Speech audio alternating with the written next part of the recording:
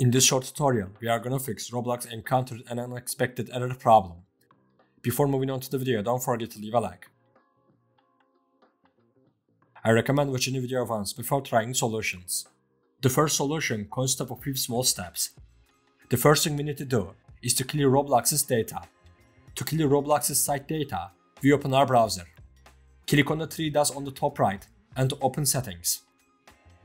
After doing this, click on privacy and security on the left side.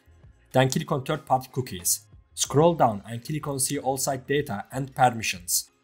Type Roblox in the search bar and clear the cache files. After doing this, when we open Roblox's site, we will need to log into our account again. We cleared Roblox's cache files from our browser. Now we are going to do it from our computer. To do this, we go to search and open run. Then we type percent local app data percent and press enter. In the window that opens, we find the temp folder and double click on it. We find Roblox inside the temp folder and delete it.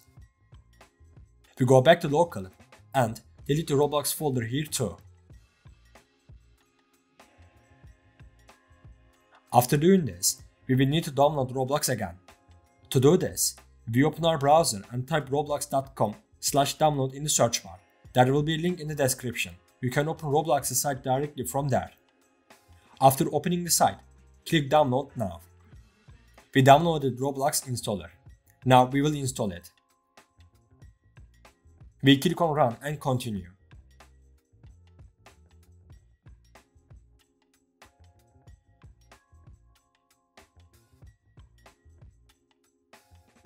We have installed Roblox.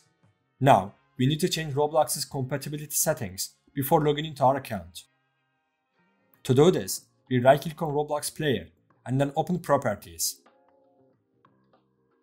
Click on compatibility from the top and then click disable full screen optimizations and run this program as an admin. Click apply to confirm the changes we have made and close this tab by clicking OK.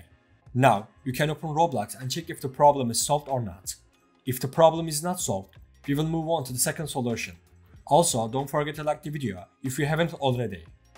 The second solution is to use Microsoft Store version of Roblox. If the problem is server related, we can wait until the developers fix the problem or we can use the store version. To do this, we go to the search section and open the Microsoft Store.